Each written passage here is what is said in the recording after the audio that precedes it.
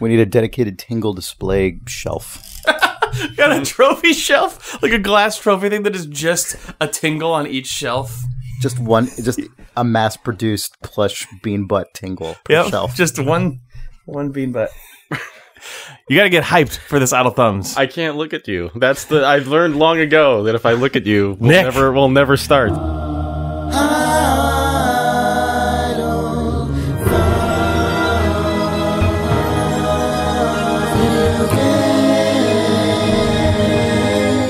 Nick, I have something important to tell you. What? It's June 9th, 2016, This is Idle Thumbs 266. I am Chris Remo. I'm Nick Breckon. and I'm Jake Rodkin, and I'm so fucking psyched to be on this podcast. I'm saying the F word like seconds into it. Man, uh, when I worked on a newspaper in uh, in college, it was it was the stupid alternative newspaper, and we were not allowed to put bad words on the front page, not Uh-huh. because of university regulations, but because the guys who printed the paper, like the guys who ran the printing press at like the local daily, were like, "Come on, guys, our our, our guys don't want to read this stuff on the front page when they're when they're printing this." But if it's, but they won't notice if it's on the. If it's like deep into the paper, I think like it gets through the folding robot Right. Before like they were before they were bundling it Yeah. up, and they were like, we don't want to look at the f word like right on the front page of this. We don't want to. We Did don't you, want have, did you have to start also adjusting your other editorial tone to Right, match yeah, yeah. what those guys don't want to be? right. we don't want to read about the We agree environment. with Come your on. student body position on uh, the firing of Dean whatever. Yeah. McIntyre. Could you put? Our guys don't want to be. Re- Come on, guys. Come on. Come on. Our guys Can we see a little more that. content about printing newspapers on the front page of this newspaper? Ink commodity prices. Come on. Come on, guys. Can we learn? Uh, can we get some coupons for like good, uh, like plastic tape bundlers for large volumes of paper? anyway, Why sorry. don't, why don't those any of your advertisers? Come on, guys. Sorry that I said fuck in the first three We don't, seconds. of our this guys don't want to be reading these ads for the campus bar. Come on, guys.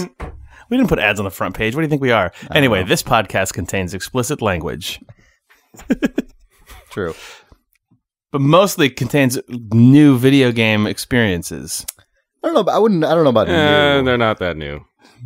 I don't know about new. Oh, New to you though, because Nick Breckon played Overwatch, which I don't think you've talked about yet on this podcast. No. Yeah. No. Oh, welcome back, Nick. Oh, Breckon, thanks. After being sick yeah. or whatever the It's hell that you were last week. it's that long uh yeah, period where I was gone. Um, admit it. You were just playing Overwatch. yeah. You called in sick to play Overwatch. That's true. Uh, no, I played Overwatch for like 20 minutes. Oh, This is- fuck what, are we, what are we doing here? I don't know. No, I, pl- I played it for longer than that. I played it. I played it for a couple hours. I really want to talk about it with you, Jake. So I think I, I think I kind of want to hold off uh, on a longer discussion until until we can talk about it. But the, honestly, the thing. So it's a it's a it's a really fun game. I had the same experience that you did, Chris, which is that I was surprised that I was playing a game like that and enjoying it uh, in this year. Um, the thing that struck me though, going into it, knowing that it had, uh, you know, that it was influenced by Team Fortress, is just how Team Fortress it was. Like, Mhm. just right on down to like, oh, this guy has a giant minigun and moves slowly, or like this guy, you know, shoots a grenade launcher and is fast and is basically the demo man. And like, wow, like there are just straight up moments where I just feel like I'm still playing that game and it just is a little more colorful. It's weird. Yeah. It's really strange. Team Fortress just got everything right. I mean, it. Well, in the you know the weird thing too is the th- like I don't I haven't I don't read the internet anymore, but the from what I can tell, like a cursory glance at like the reaction to Overwatch right now, it seems like people are mainly concerned about like the modes and going forward, like just for competitive reasons, like whether like the payload modes are are any good for for like esports and things like Uh, this. yeah. And it just Team Fortress 2 never really concerned itself with any of that stuff, did it? it never did, but now they of course they have to, right? So really? like Is there TF2? No, if you're no, no, Blizzard, no, I'm saying Oh, oh, oh. if you're oh, Blizzard, oh, they- sure. yeah, Okay. in this case, they do. so like, yes. how do we fill an arena with this game? Yeah, and so it seems like a lot of people are, are calling for new modes, whereas it's just it's it's kind of nice as somebody who played Team Fortress to just pop back in. It honestly just feels like oh, this is these are the modes I'm used to. There, I the one um That's interesting. New modes that optimize for pro play. Like, do you have any examples of what the community is suggesting they push towards? Because I think more capture oriented things versus um sort of like the the map that I played, for instance, was a um that's true. was a three stage uh thing, and it was it, it, just three stage like three stage in the sense that like it was the fallback. I can't remember the Team Because TF2 has the one right where the map is split into thirds, and you have to defend a point for long enough. Or Yep, that. a- Okay, that that, That- that seems thing. like that's the mode that is the most that, that like is gets competitive play in TF. Is it not? I don't know. Like that's the one where where a match is like a forty minute to two hour experience. Sometimes where there's just like where people are just yeah.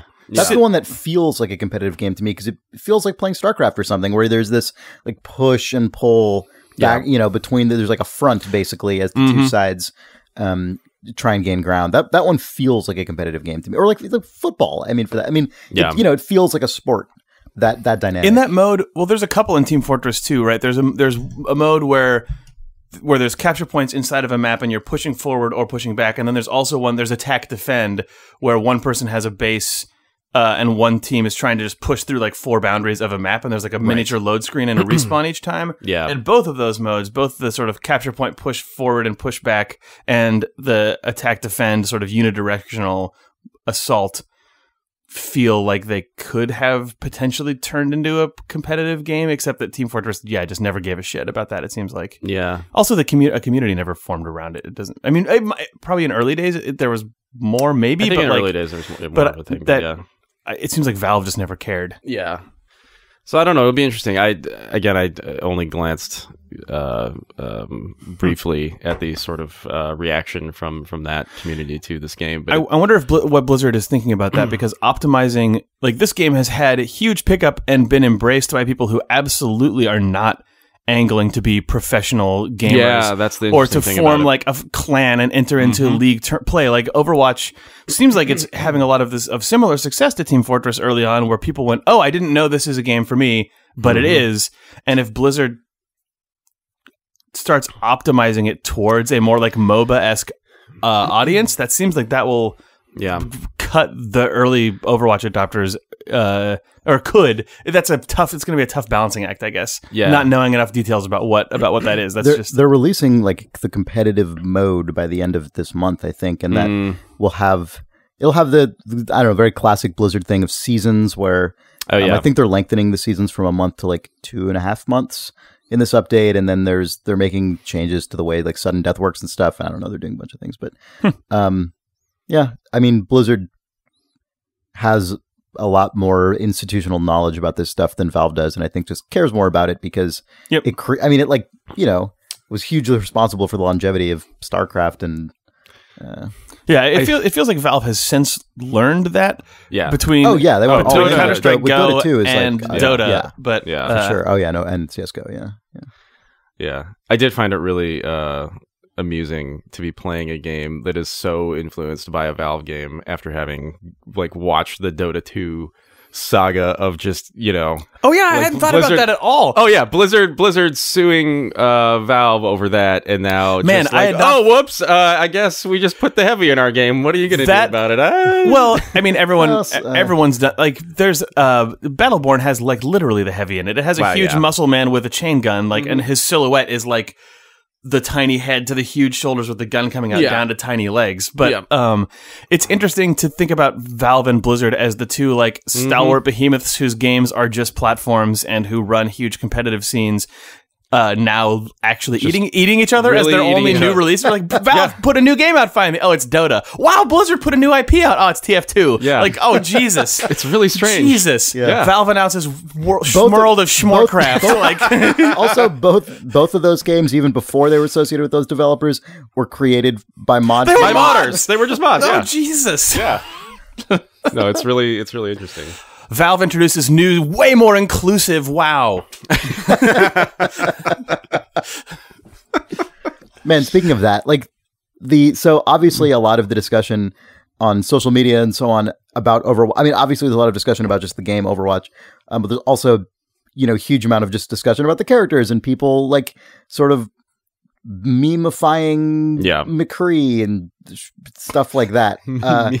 Uh, um, and just all that, all the shit that's going that, that like, you know, that kind of, I don't mean shit in a negative way. I just mean like that whole category of engagement, which made it really funny when I was reading uh, a news article about um, upcoming patches, including the new or the reintroduced competitive mode, uh, because the, uh, the game director Jeff Kaplan is like talking about the changes to these characters, and it just sounds like he's just talking about these characters in the way that people on the internet do. Uh, like I don't know. I think D.Va's buffs will take a little longer for us to get to, but McCree balance changes should come sooner. D.Va's not in a horrible place, we just feel like she could be in a slightly better place. Whereas McCree is causing a lot of concern in the community, and we want to make sure they know we're responsive. It's just it's I just Like, like, is that a character class or just a guy? yeah, like is Yeah, he yeah. seeing his therapist? I was just gonna say, yeah, he sounds like a yeah. McCree is causing a lot of concern in the community. No, it's not acting out. No, it sounds like a school counselor. It's Yeah. little McCree. This I is don't a know. Parent not getting teacher, along with the other kids. teacher dude. Conference with the entire player base. right. right. Anyway, yeah, it's a good game. I want Jake to play it. Yeah. All, all, Yeah. all people want. That was that was Danielle's Oh desire yeah. as well. Yeah. Back when remember back when Danielle was on the podcast. Good times. I do remember. now that. we now we Mm. got Nick. No, sorry.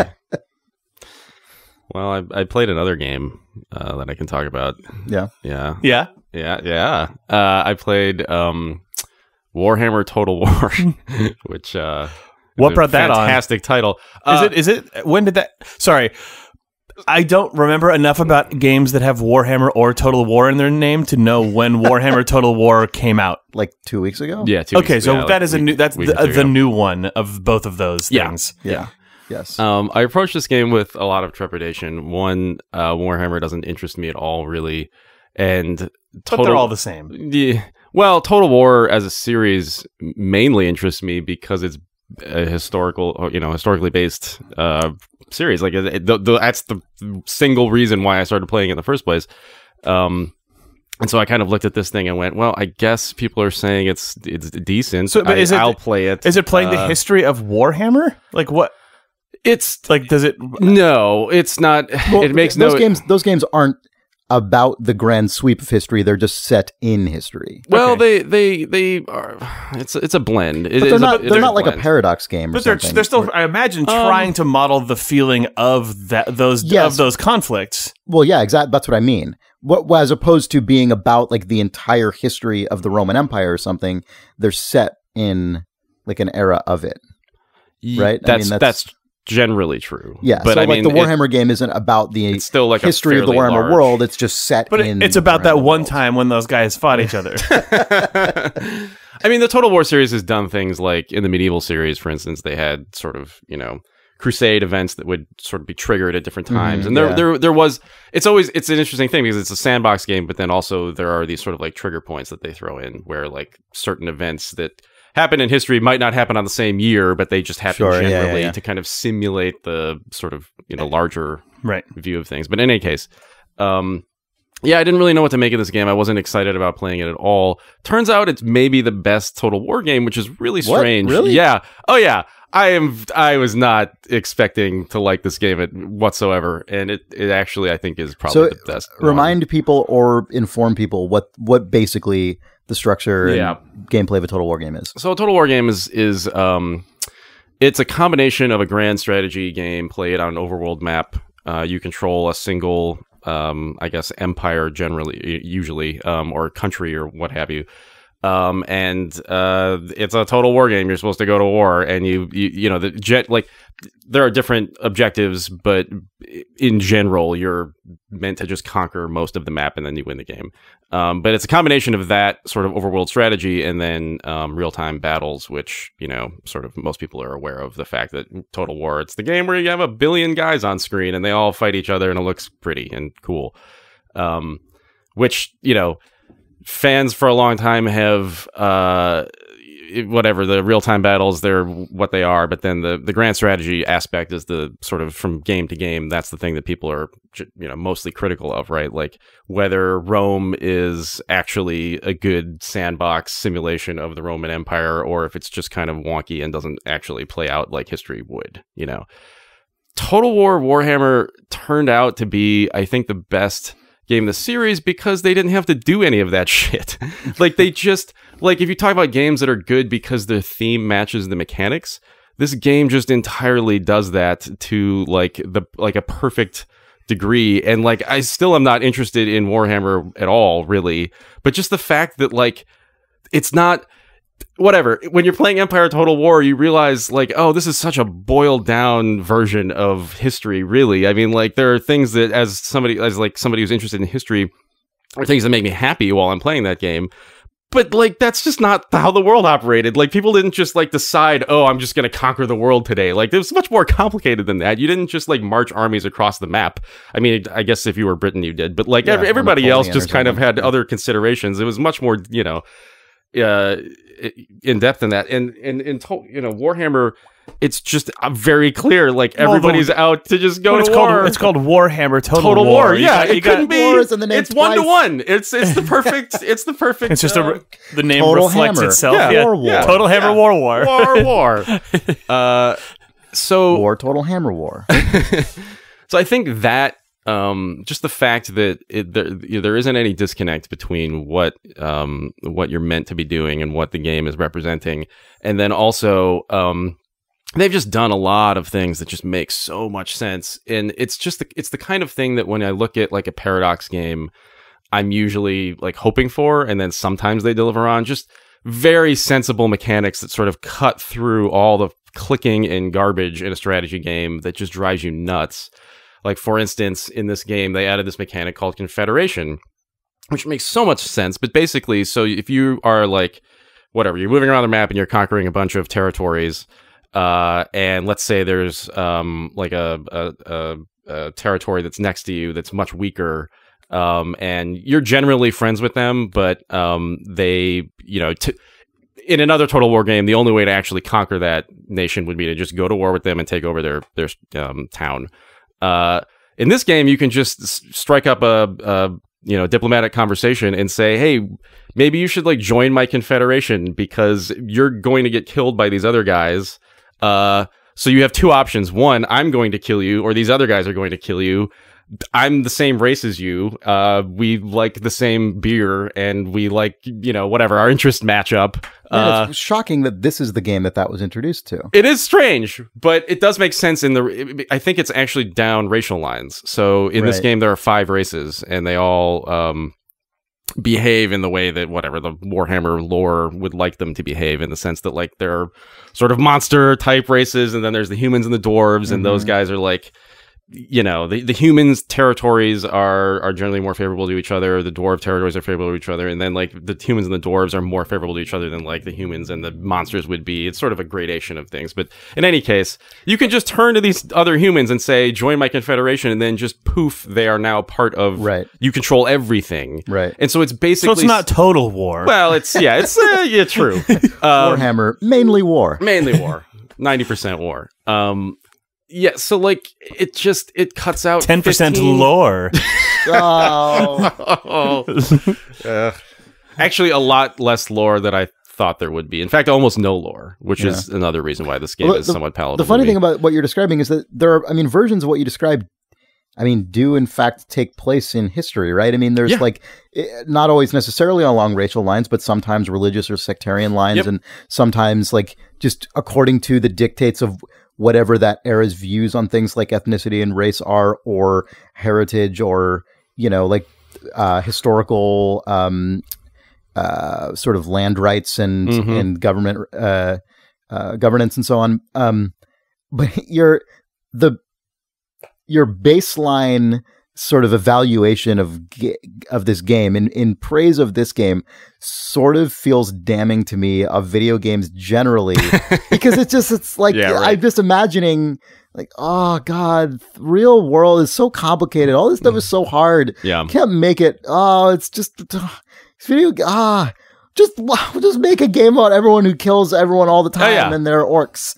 Ah, ah, that works so well. Ah, video games are so ah ah, it's so appropriate. yeah Like it just I don't know. it's Like, true I guess it's just how it is. I mean, I I will always prefer and the the thing that you know, like as a fan of the series, I I see the sales of this game, and I guess they're just astronomical Oh, in- really? in comparison to other games in the series, and it will make me sad if they never go back and and do another historical. It seems Total like they War. would I'm sure have they, to because the, sure the, the team making but- these is probably. I mean, it, pro- I imagine both things are happening at once with them going, "Oh man, well we know where the money is," but also we have the money now. Yeah, they'll probably you know, do So a they- parallel kind so of they uh, development scheme and, and Yeah. do do a license thing and a non-license. They could make thing, but- Warhammer 40k, Total War 40k. It just Yeah. depends because they're owned by Sega now, so it's sort of Mm, yeah, it's kind of just the whims of whoever happens to be in charge. Toe of Jam the, and Earl, the Total unit War. that owns Creative Assembly. oh man, God. God, how long until Sonic Total War? yeah. Whatever, There's a mod play for that. that. There's there's a mod. That seems fine. Sonic and Mario. Sonic and Mario at the, my at the Olympic Games. Sonic. Games, Total, Total War. oh man, that's all. That's all fine. Yeah, Ugh. Yeah. Anyway, um, uh, I would fucking play that game in three seconds. Oh, yeah. everyone. would- A, to- yeah. yeah, I mean, a people Total would. War scope game with that many just, just, like stupid, tiny, cute Sonic robots and animals versus just a bazillion God, like- Mario yeah, like characters. Yep. thousands of How many like, toads were slaughtered that day? toadstools? Like Yeah. A, Oh, yeah. a fuckload. How many robots exploded into cute animals? A lot. Oh god. Yeah. Would you like to upgrade this Also, building I for a at the- thousand rings? at, that, at that point, Blur would also do the cutscenes for that game, yes. and Oh, a yeah. very particular segment of the internet would, oh yeah. Would just- would just die enraptured. Oh man, yes, especially when animes die in Sonic's arms. Yep. Oh, I can't talk about anime on this podcast anymore. I forgot. Um, Well, Anyway. I'm I'm I mean I'm it's cool to hear that it's good. I mean, you know, but it's my comments aside, like it is actually cool to hear that's good because I would never have No, it's I really it's really really good. assumed The they I mean they've done a lot of other new things as well. Like the the sort of like commander hero units are um actually taken to the degree that you'd want them to be. Like they actually so like if you're playing as the humans, you have like a um a sort of uh, a command structure within your um uh um uh, faction now, and you can you can say like this guy is the patriarch and this guy is Mhm. the sort of Reichs commander or whatever, and that sort of imbues those guys with more responsibilities, and they level up, and then um, they have like inventories, and like they also have their own like followers that then you equip on their character page so like a guy can have like his page and his like uh whatever it's it's crazy it's it's really yeah. well done um well realized game and then also it's it's uh you know for a total war game it it it just is basically exactly in terms of the way it functions uh what you would want out of a, just the the base game of it um That's so yeah it does kind of bum me out in a sense that this is the one that they got right but Yeah. uh at the same time it's still a really good game so i'm fine with it anyway yeah That's cool. games are dumb You came into this from the total opposite direction that the sort of marketing department would have. Oh yeah for sure Like, the things I like about this game are not like orcs and humans. uh, like I could care less. But Whereas clearly the reason they made this is because Yeah. it's easier. I get. I mean, I, I mean, I say this as someone who, as longtime listeners of this podcast probably know, like I played Warhammer growing up, the tabletop game, Mm, um, and so it's been I don't know, probably fifteen years at this point since I played Warhammer. Um, last maybe tw- I don't know, 12, 13 years, but uh, but I still it's really like ridiculous how much of the like just lore and world I still remember. oh really? Yeah, Oh, so when man. you start talking about like a Warhammer based game, like I just already know all I mean, I'm sure that in those dec in that decade and a half since I played, I'm sure there's a bunch of shit that I don't not. know about yet.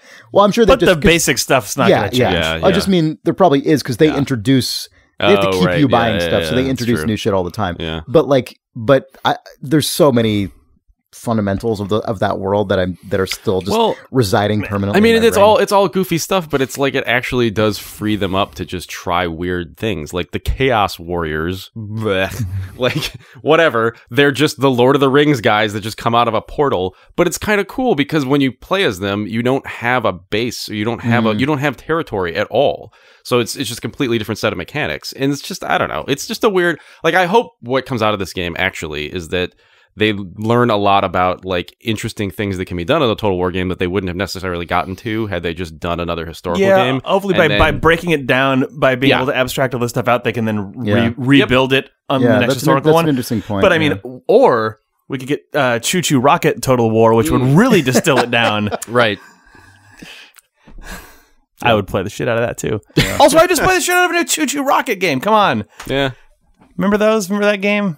you you just played ChuChu Rocket? No, I said I, w- I want. Where's the new one? Oh, I thought you said I just played the, sh- the oh, shit out of God, the new. ChuChu Rocket game. Why is that? God, ChuChu Rocket was so fun. Didn't we play that we together? played that on, on the game on the Game Boy Advance version of it with the link cable. We played a lot of of ChuChu Rocket. God, that game was so fun. Yeah, it was Yeah. pretty good.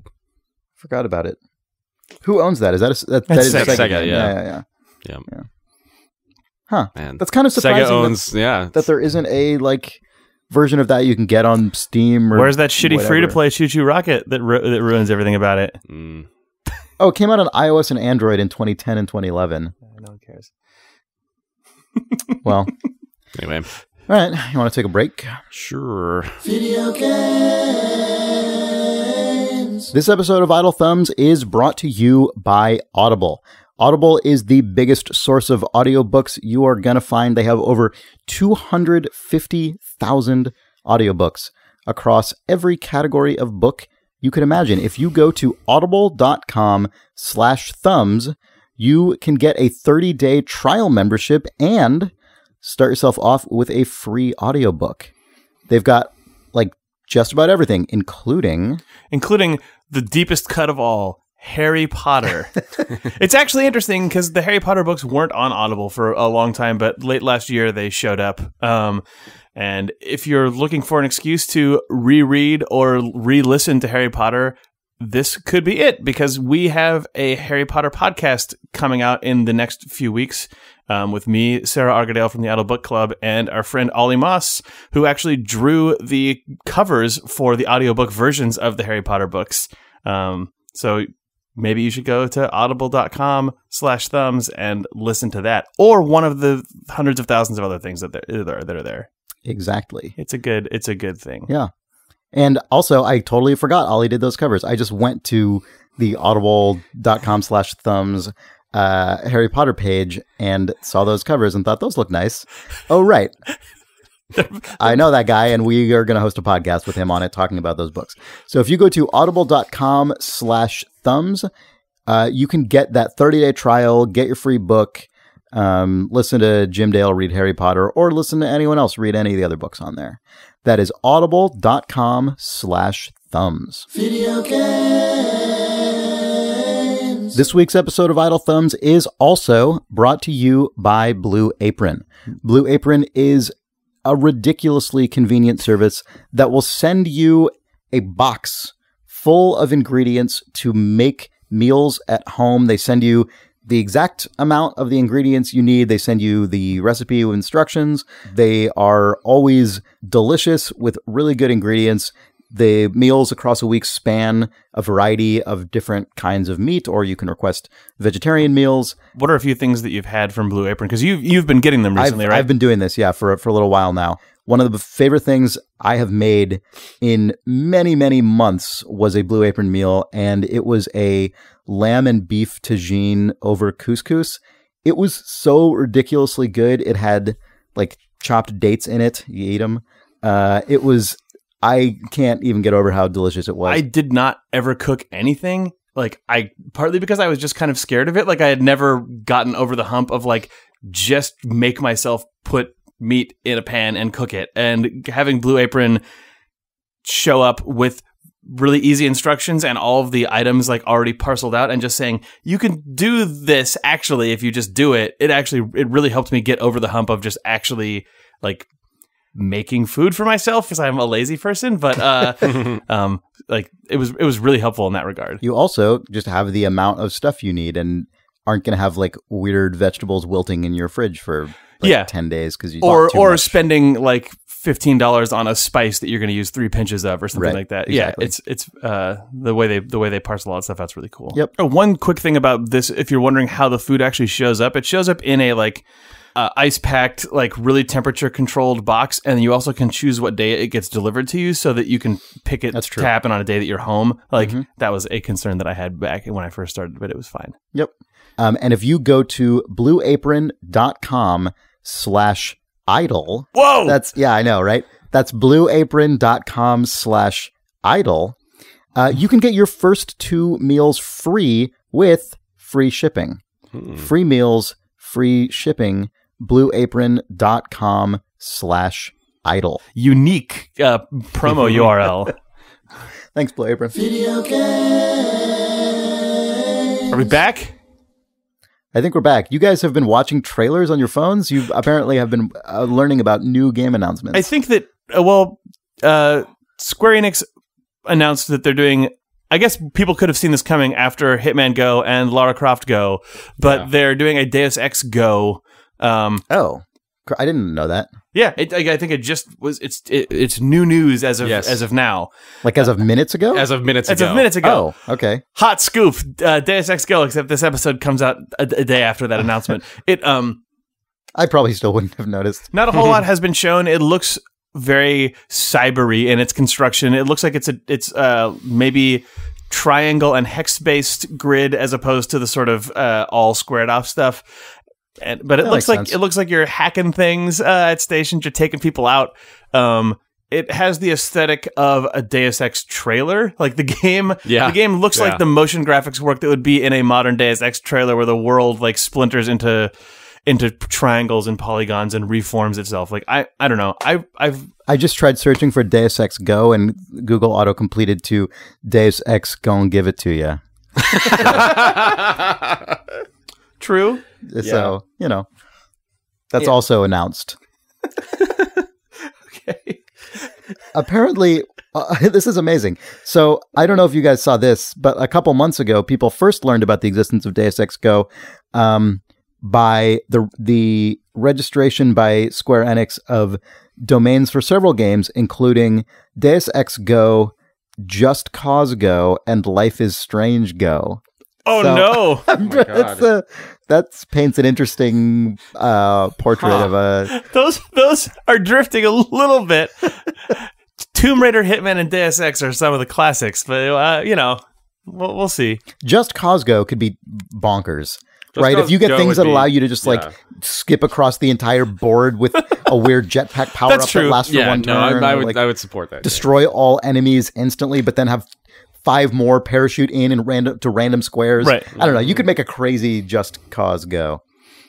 There could just be additional airborne board that you ha- that you can access only by Right, affixing yourself to a helicopter piece. Right. Um, what what happens when we get to Hitman Go Go? Like when they've cycled through all of their IP to the point that they get back to the Go games. Hitman go, Hitman Go Go. That's where just- it's just like Hitman That's, Go no, Go that's is like just a the game you find in Hitman. No, Hitman- and someone's playing it. Hitman Go Go is like a 1960s spy romp. well, it's like a very Yeah, right, yeah. austere playing board, but there's outrageous 60s go go Hitman. music yeah. playing over the top of it. Hitman Go Go is Hitman and No One Lives Forever crossover. um, but yeah, Deus Ex Go. I I have not a lot to say about it because they haven't shown a lot. The trailer is just like you see one takedown, and then there's also a hacking terminal in the background, and some stuff builds. But I thought Lara Croft Go was really good, and they they did a, a surprisingly good job of taking the basics of Hitman Go and then changing the way that the puzzles and encounters work to feel Tomb Raidery. I agree. I thought it was. I thought yes. Yeah, so i I'm thought really, but this series has been awesome so far with weird spin off. Yeah, une- category, unexpectedly g- great. Yeah. Um, so yeah, I'm looking forward to some cyber shit going on. Mm-hmm. Um, yeah, I don't know. That's cool. Yeah, Yeah. not a lot to say yet, but whatever. Yeah, fair enough. Excited. Um, speaking of I mobile games, Uh oh. I am still. I know I've talked about this already, but it. I, I think it bears further mention because it's just increasingly become the game that I'm playing recently in a in a time when there are In infinite world. games to be played, great games that are out recently. I'm still playing Imbroglio on iOS by Michael Brough. Um, Michael Br- Broff. I don't know how to pronounce his name. Michael Bro. I assume. Let's just B let's R go O for U it. G H. Um, so you know, as I've said before, Imbroglio is a sort of one screen turn based roguelike game on iOS. And uh I I just think it's amazing. I, I, think it's amazing for multiple reasons. One of which I think the gameplay is just incredibly smart and economical and compelling and clever and deep. Um, and also, I find it incredibly endearing and charming because it looks so inexpert in the way that all of this guy's games do, right? Like 868 Hack, uh, this game Imbroglio, there he's clearly not an artist by trade or or by anything else, really. I mean, uh, I don't even think his game. I, I think he could even do a better job at just making his games readable in a. But you know, after you've played it long enough, that all melts away because you learn to read all of its weird visual eccentricities just because you spent so much time with it, as I have in this case. And I now find myself sort of appreciating the inexpertness of the art because it it sort of reminds me of what indie games were like before we had a s- segment called indie games and before we had things like Steam and Xbox Live Arcade when people were just releasing zip files Mm. on websites and trying in some cases trying to sell them directly through PayPal or whatever um, and a lot of times it was just individual people making RPGs that just were very badly illustrated because they weren't artists, but there was something about them that could appeal to a particular fan base or, uh, you know, or there was some clever mechanic in a physics driven game or something. And this and and his work just reminds me of that in a way that again I think is just is incredibly endearing. Like it's really it's sort of there's something kind of novel weirdly enough in 2016 to be playing a game that is this polished on a mechanical and design level but so you know i don't mean to say this is an ugly looking game or anything i just mean that now when you think of indie games that really pick up steam and find a big audience and are really polished on a gameplay level. Like these days you just kind of expect that they're going to that they're going to come along with a really well defined art style that's been really highly polished or stylish in some way or have some sort of clever artistic conceit to it. And this game just doesn't concern itself with that at all. Um, and i don't think that all indie games should be like that right i mean we're in sort of a magical time for indie games spanning an incredible array of extremely accomplished visual styles um, but this is like i don't know there's just something really wonderful about how unassuming this game looks despite being such a great game. People who really liked Steven's Sausage Roll uh, and who like your opinion on games are probably really sad that they never heard you say all of these words about Steven's Sausage Roll because many of them could apply. I think that's probably true. Um, It's just not your kind of game. it's not that it's not my kind of game. I just I just eventually got stuck and couldn't keep playing it. Uh, well, I could have, but I just didn't. Um, but even even the visual aspect is more specific to this game to me because this game actually is hand drawn. It's literally hand drawn. Like it looks like a guy who's just not really a great artist drew a bunch of monsters. Like it, it literally looks like margin like school margins Right, yeah, drawings if they had been turned into something that could actually be represented with fairly clean sprites. Yeah, just, just both this game and Steven's Sausage Roll look to me like games that I would have bought off of someone's like Kagi.com That is true. storefront That is circa true. 2003 or something. Steven Sausage Roll definitely does fit that that part of what I'm talking Yeah. about for sure. Yes. Um, but anyway, so now that I've talked about that part, I, also just this is just such a great game. I because I've already talked about the game itself in past episodes, there's a component of it that I want to talk about that I probably mentioned, but that has become like the cornerstone of my um, ongoing relationship with it, which is the extremely clever thing that the leaderboard, in addition to showing you the high, the uh, you know worldwide high scores for each of the eight playable characters um, in the game, it also serves as essentially the uh, user content repository. Mm. Um, like one of the one of the uh, important elements of this game is that you yourself construct the board that you're about to play on using these individual cards, and each card is a weapon, and so each space on the four by four grid is a weapon that you use, and so the weapon you use in any given turn is the one that you're standing on top of. You don't carry weapons around with you; they're permanently affixed to tiles, and you place those tiles before you play the game. And that I think I mentioned on an earlier podcast is kind of a that's a tough point for me because I that's never the part of the game that I enjoy. I don't uh, enjoy that part of deck building games. I don't you know enjoy this version of it particularly. But this game has a brilliant uh, and very very simple way that makes that completely magnetic to me, which is that you can go down the top score list for any given character and it will show you the board layout that that person used to achieve that score. And then you can just copy that, their layout to your and then try to board on your device. basically? Yeah. Um, and the thing that is so it's cool in two ways. One of which is that you can see, oh, I see like the kind of strategies people are using to get high scores, but also in the same way that um, like the escalation missions in the new Hitman game recontextualize the level that you have already traversed maybe several times to do the main mission by giving you these other goals and, and styles of play that you have to achieve. Uh, similarly, um, going through other players' um, successful board layouts actually forces you to engage with different elements of this game that you may not have when you get sort of stuck in the rut of your own preferred strategy. So there's an entire uh, category of mechanics in this game that deal with uh, what are called curses, which is there are just various conditions that will cause an enemy to become cursed. And when an enemy is cursed, they just work in slightly different ways than non-cursed enemies do. Like there are things that will then turn them from being cursed into being a ghost, at which point they have uh, only one health, but they will go through walls. And they're for- way spookier. and they're they're very spooky.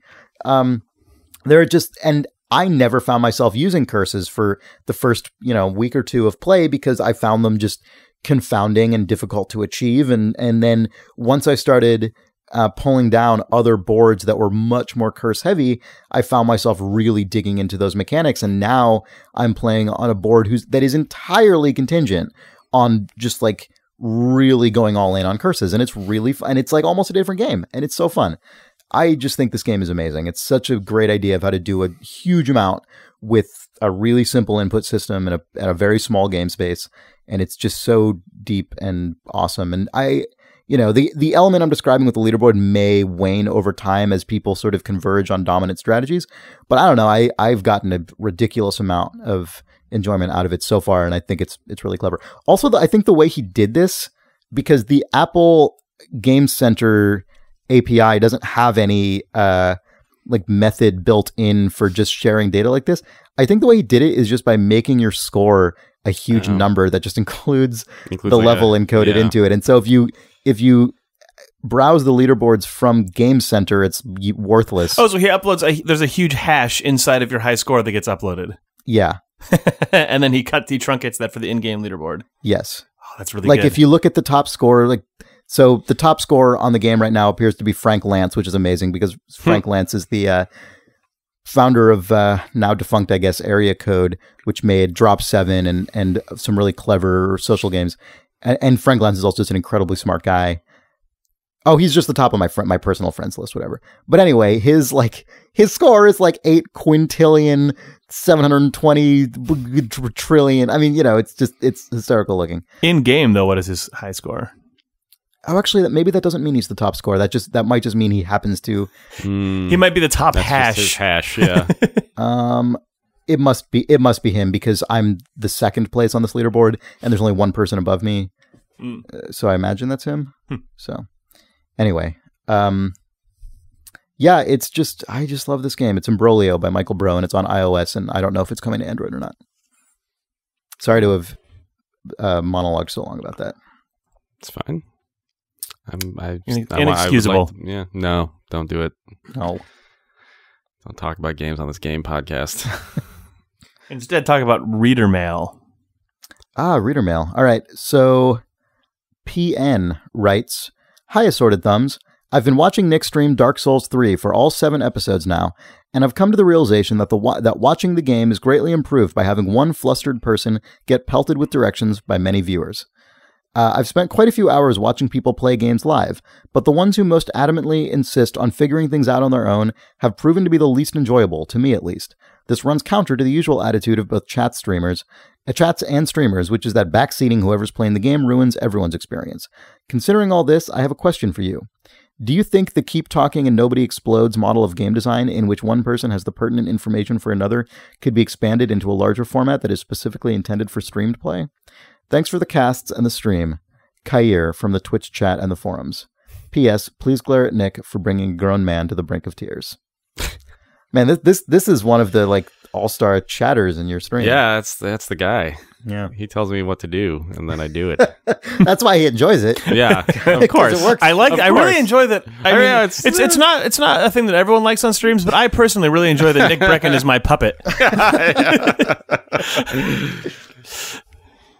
Um, so what the question was whether you could Whether there's a expand ver- that into Whether there's a version of this that could be baked into a game design, I guess. Is like what he's like a Twitch saying. plays X game, but there's also a person operating the game that has Yeah. like asymmetric information Right. between them and Twitch chat. Man, that would be really that would be really cool. I I feel like yeah, you could do that. You could do that by having like web pages that everyone has to go to, or game clients that, or like on their phone or something that have tiny bits of information that You- chat then has to work together to assemble. You wouldn't even have Hmm. to do do it that way. You could have someone deliberately set up their streaming setup so that they're playing the game in a window, and then they're but the PC that is broadcasting the game is Oh, running the Twitch uh, side, and they're basically running a LAN game with what you see and what Twitch sees. But you build the one that Twitch sees to deliberately have a big hole in it that you plop the other person's game inside of. So Twitch gets the whole picture, and you're only seeing Mhm. your monitor.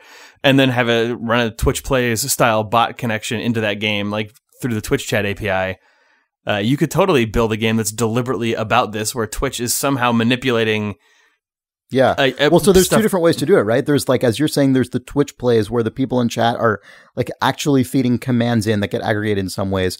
And then there's the sort of Nick plays Dark Souls style where he is trying to like himself aggregate and filter information Yes. that's being communicated on mass by a bunch of Yeah, I'm saying you could have all those pieces running inside of of two pieces of the same video game running on two computers. So Nick is seeing Right. one monitor. Then there's a, a a second like game client that's aware of what's in Nick's game and is feeding Twitch information and reading from their chat. Whether it's literally just saying "tell me commands and I'll do them," or like it's putting weird conundrums up that Twitch has to solve and then input the correct answer in chat, which then somehow reflects information back into Nick's game. Like if they can figure out Yeah.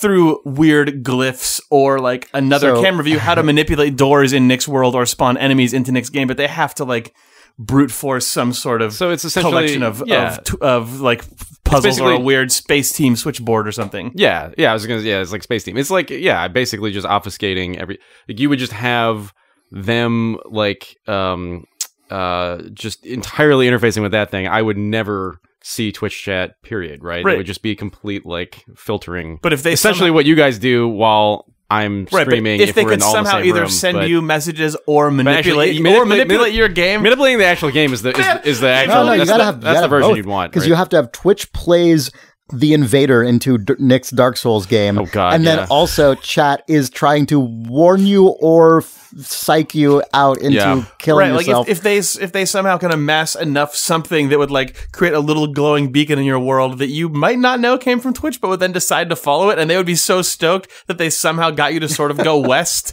uh, because of so, some so Nick is thing that basically the cat, and the Twitch is the guy with the laser pointer. yes.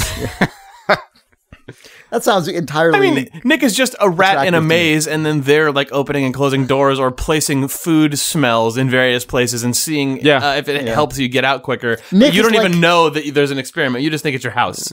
Nick is like the bean butt tingle. Uh, and Ch- Twitch is like the couch. I like that we're trying to find yeah, I know. all these just metaphors. bring yeah, how Nick far is. down can you just lower me?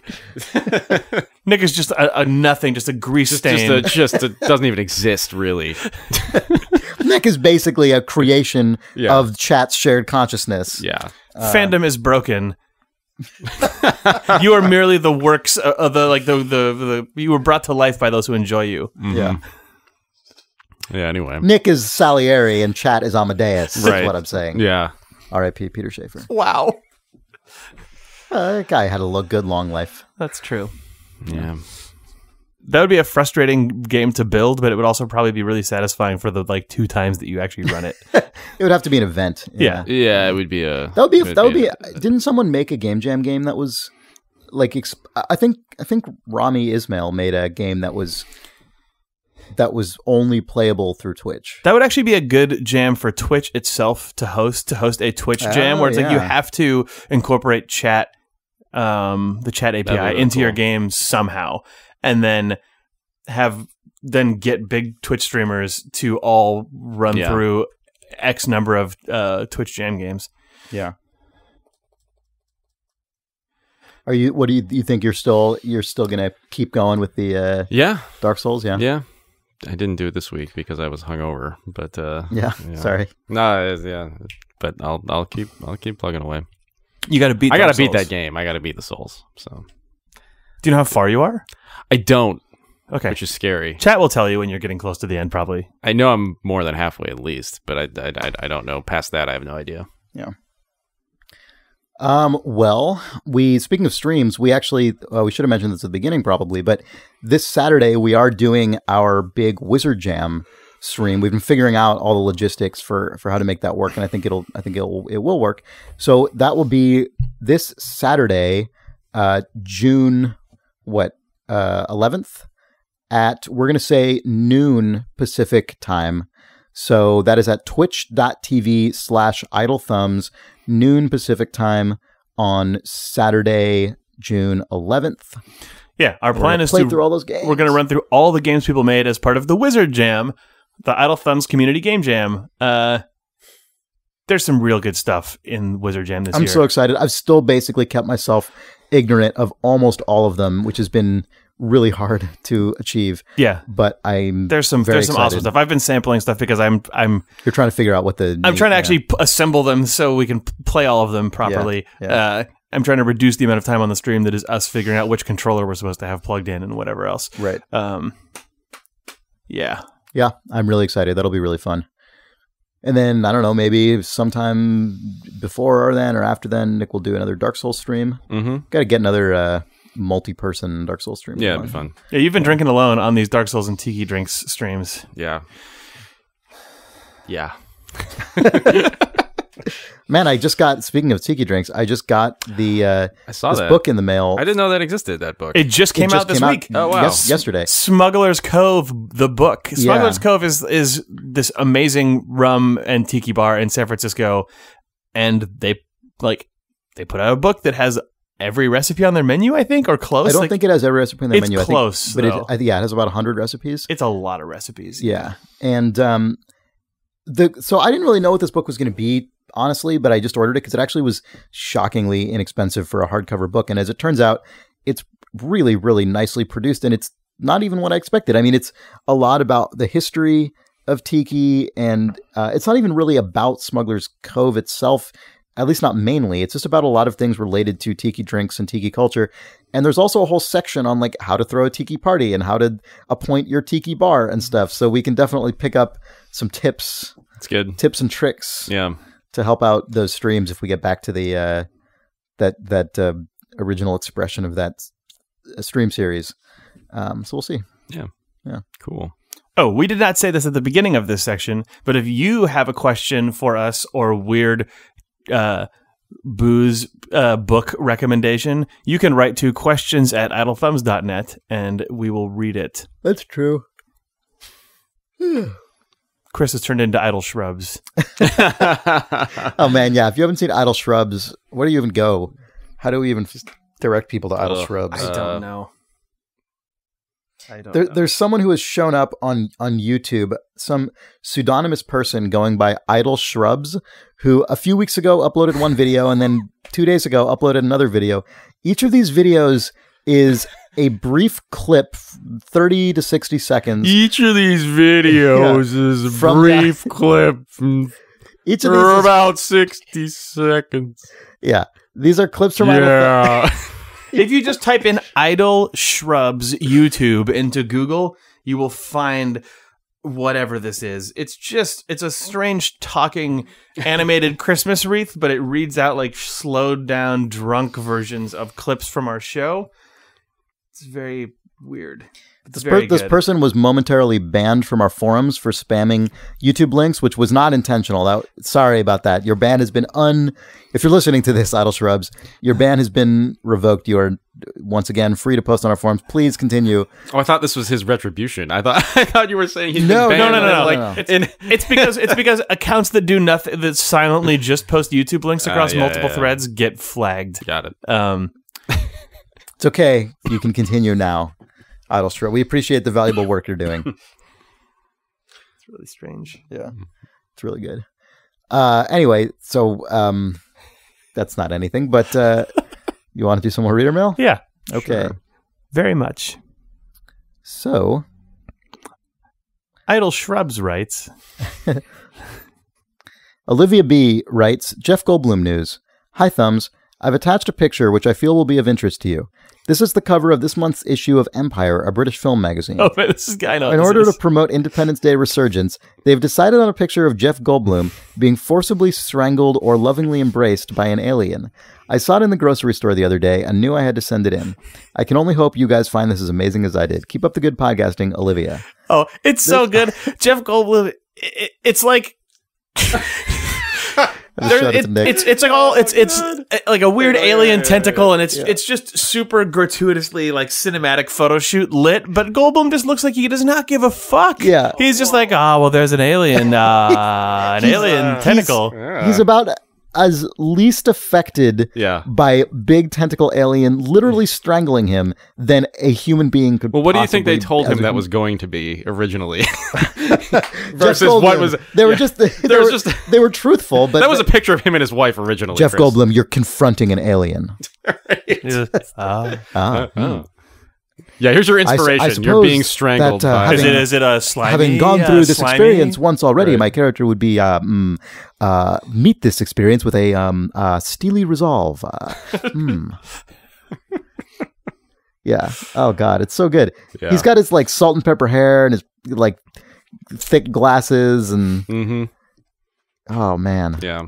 He played that alien a, a jazz uh, solo, and then and then that photo he occurred. played a, he played this alien in tasteful jazz solo Yeah. while being strangled. Yeah, apparently, yeah. That's, that's how cool he is about Right. this. That's actually the alien giving him a hug because it enjoyed right? Yeah. his tunes. right. Yeah. That's uh, That's a great set, Jeff. Aw, And thanks, the weird alien thing is, he had, friend. to, he had to pose for this, including like putting his hands up as though he were mhm. he were Yeah. fending it off. But man, what a strange photograph. Anyway, if you look up Empire's um, Jeff Goldblum cover, you will you will find this. Also, the topography on this is just yeah. aliens attack again in just like aerial bold bright red. Sorry, but it's this this is impressive. Um okay. So uh speaking of YouTube, Johnny Driggs writes, "Hello thumbs, it's me, Johnny Driggs, the guy who does your YouTube videos. Recently, due to fan demand, I uploaded a compilation of the Steam Hat Economy reader mails from Captain Invictus to youtube.com slash idle videos. A lot of people seem to enjoy it and some asked for more compilation videos. Of course, you all know this, but I thought you could help me by asking for compilation requests from readers. I think the next one I'm going to put up is the bizarre tale of Chris's lingerie phone sex fallout shelter. After that, I'd like to hear from fans as to what they'd like. Readers can tweet their requests to me at, at Johnny Driggs. That is at J O H N N Y D R I G G S. Please write in with what you would like to see. It doesn't even need to be a series of discussions. Just send any memorable bits from Idle Thumbs that you would like to have an easy way to share with your friends. Thanks, Johnny. Yeah, it's really cool. I had hope, been hoping people or someone would do this for a while, and I'm glad that Johnny is doing it and it's going out on the Idle Thumbs channel. The um, if you don't remember or want a refresh on that Hat Baron stuff, it is totally wild and worth going back and listening to. It's some of the craziest look into like weird meta uh, shadow economy in online gaming, and um, Captain Invictus actually wrote us with an epilogue to this, which I will save for next week when everyone can come back refreshed on the saga nice. of the Hat Baron. So, Oh man, yes. enticing. yes. Oh, also, if uh, so, the the Hat Baron stuff is like a very long and chunky.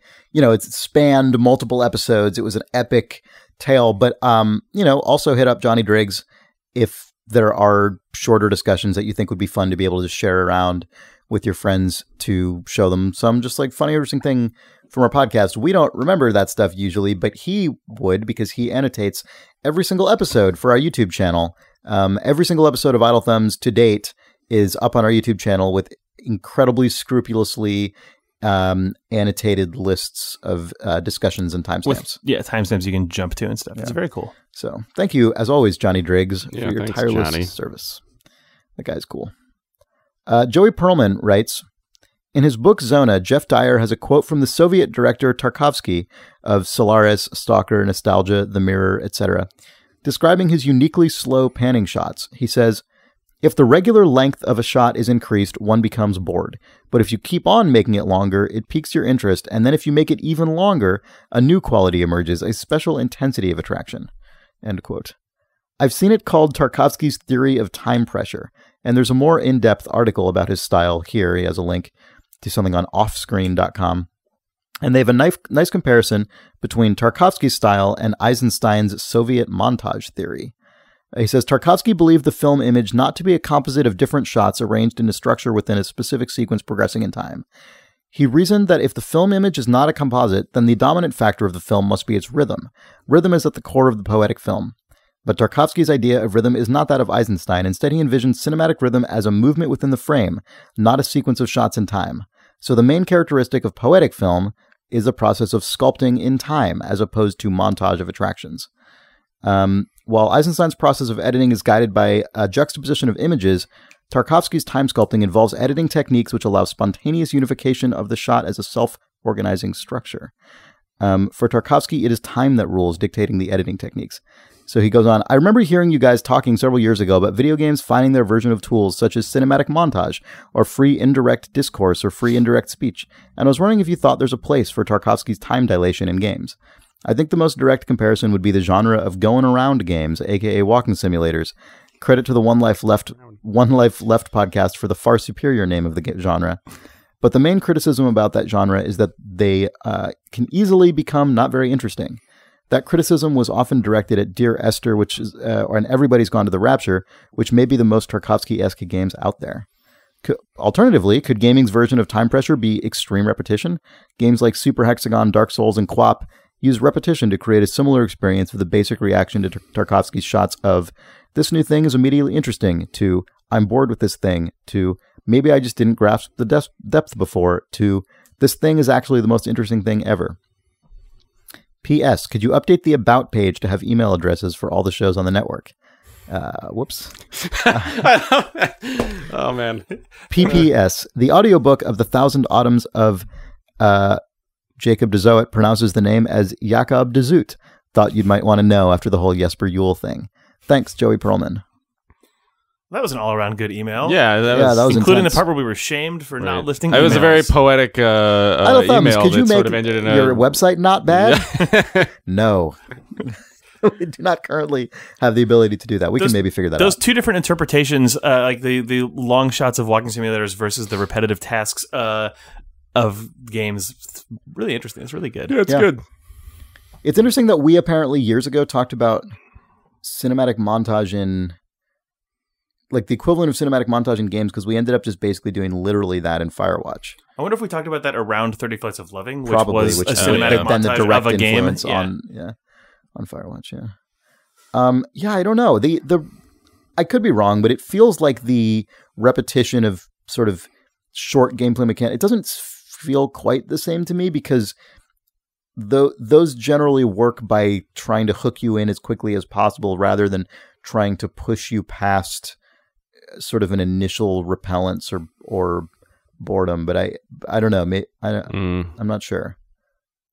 I don't know. Like I, I feel like the the version of it in games is sort of the opposite, where you start off like kind of enjoying it, and then you actually like get even more into it, and then like 20 hours later, you're sort of filled with a hollowness of like, what the hell have I just spent? But there's a place in all that time between in in games that have repetitive mechanics that offer depth, where you end up pushing through to a point of like.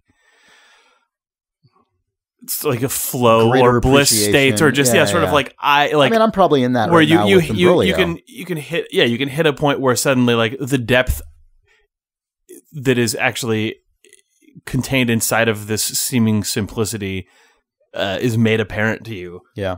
Uh, but then, yeah, at a certain point, maybe then it does also tur end up being Right. hollow when you realize. Well, I mean, the big difference is you're that, not eating anymore because you're just doing Yeah. this one thing over and over again. I mean, the, the big difference is that every movie, even a sort of seemingly interminable Tarkovsky movie, still just ends. Period.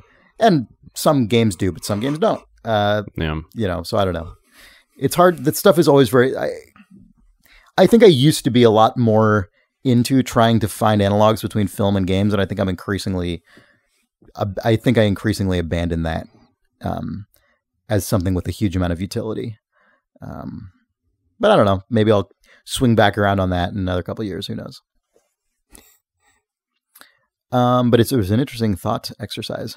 Uh, so Niav Sh- Schoner, which I think I'm pronouncing right at this point, because I think I just after this person has written in a few times, uh, says, "Hey thumbs, I was watching these videos. I was watching videos about the actual real number generation results from coin flips and card shuffling. Basically, how random are these things actually? Which is in general pretty fascinating. But then in this one, he starts talking about how high level bridge players had intuitively figured out that people don't shuffle card decks enough and use it to their advantage. And I thought of you guys. Uh, and then there's a YouTube link. As I said, the entire series is pretty fascinating if you have the time, so I figured I'd share it. Best Niav. Um, I watched this linked video and then another video that was followed in the series, and I could have kept watching them if it weren't like 12:30 a.m. But uh, this is this is really fascinating. There's a weird, so apparently for just an incredibly long period of time historically, uh, casinos and just people, you know, all just generally just did not shuffle cards. I mean, just people in general just do not shuffle cards enough. Like people think they've shuffled cards sufficiently and they have not. Like it's, um, uh, and and this is something that that uh, you know was just an institutional problem at casinos for decades and decades and decades, and the casinos just did not know this because that was sort of priced into the market, so to speak, right? Like all of their profit margins were just built around this insufficient shuffling, but it meant that people who were either aware of this or were just ex- high level players who maybe weren't aware that they were aware of it, but had an intuitive understanding of be like, sort oh, of the the of dynamics of probably card going to come up soon. Yeah, or just like maybe probably less specific than that. I mean, that's a card counting thing, uh, which is also Yeah. important. But like, but just general patterns. And there was a really interesting example of that that he gave. Like where you with see shadows of previous hands come back into play, or like how So, how so here's specifically? uh, here's an exa- here's an example. So this is crazy, uh, and it makes sense. But I would never it would never in a million years have occurred to me. So Bridge is a game that is dealt out in four equal four equally sized hands to four people. So you deal out the entire deck. What this there are four suits also. Um, what this cards also get played in clumps according to their suit. So as you deal as you play the cards out, cards of similar um, suit end up clumped together, right? In like let's say groups of four. They go back into the deck. You find you finish the game, you put the whole deck back together. The deck is then like sorted basically into roughly uh, distributed clumps of suits. Yeah. You then shuffle the deck. You don't shuffle the deck um, sufficiently. You shuffle it. You think it's sufficient. It still basically has those clumps in there. When you then deal the deck back out, it appears to be in an even distribution because what you're doing is you're taking those clumps and spreading them out among the four people. The crazy thing about this is once you actually start shuffling the decks with a computer that is precisely correct or or I mean not like statistically true, right? Like that is actually weighting the distribution accurately as in as in a way that is close to true randomness as possible. It actually appears once you deal the decks back out to be less well shuffled because the way you deal it out goes around the table in a group of four, which is actually sort of returning the clumping hmm back in to the random shuffle. Does that make sense? Yeah. Yeah. It's the cra- it's so bananas. And so once once uh, professional bridge competitive play tournaments started introducing computer shuffled decks, bridge players who were familiar with these imperfect shuffling patterns for decades, once they were dealing with more accurately shuffled randomized decks, it felt to them as though the decks were actually becoming more stacked and they were very confused by this. And so for a long time, um, uh, high end bridge players had sort of like adjusted their uh, their sort of int- intuitive awareness of these shuffling patterns to improve their play as they sort of ba- tried to assuming everyone has kind of balanced Yeah, hands. Yeah, isn't that interesting. crazy? Yeah, That's really yeah. good. So interesting. Yeah. And then he, yeah, and then he started. He there was a whole another video with the same guy talking about. He's a mathematician, math math researcher, and he was um, talking about um, coin flipping and the sort of the way that distribution works. I don't know. That it's very, very, very interesting. Um, actually, let me just click on the link so I can see the title of it, so people can watch it if they want. Um, the the specific video that was linked to is shuffling extra footage three out of three. Persi Diaconis, which is P E R S I D I A C O N I S.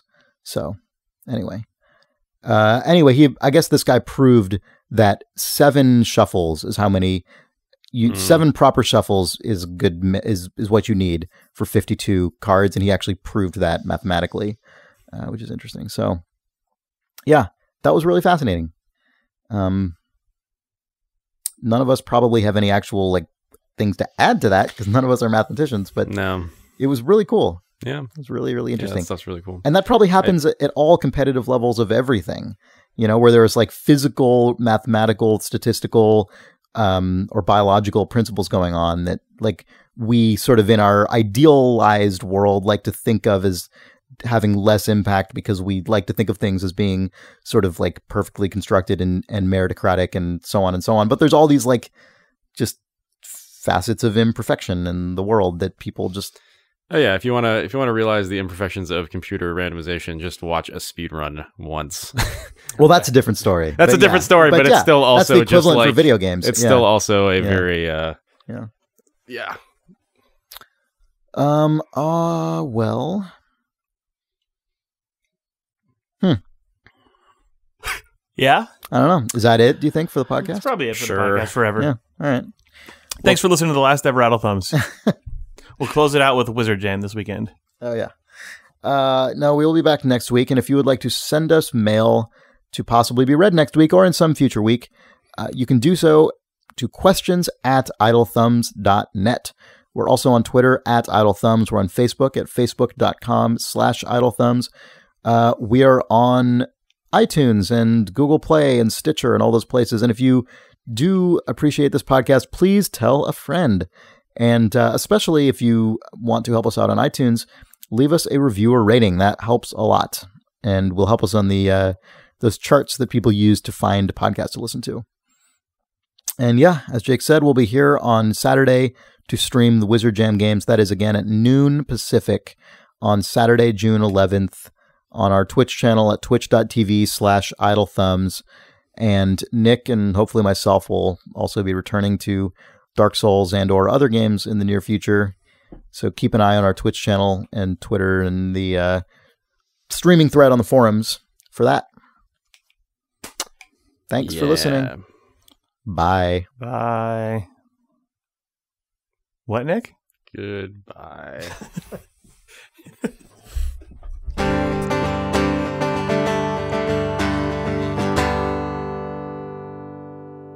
All right. Call it Blue Ape. Pronounce Blue Ape Extreme. It's pronounced trunk. Oh, Nick, you don't know the secrets of trunk. oh no, it's Crystal. Oh, good, okay. Yeah, The Secrets of Tron. Good. This episode is brought to you by Tronk. Follow Tronk Official on Twitter for the latest Tronk news